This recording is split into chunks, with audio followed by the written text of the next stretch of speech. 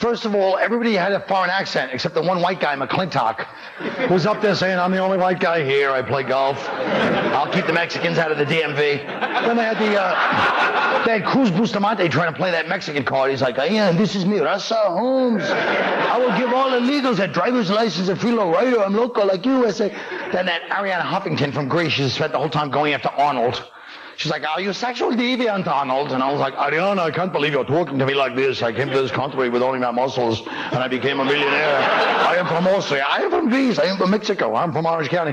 What we need to do, we need to do like England, where the parliament gets you up there and you just throw stuff at you. You have to handle it. That's the only realistic way, you know? Like, be like, Mr. Schwarzenegger, what about unemployment? What about health care? What about education? Shut up. You also shut up.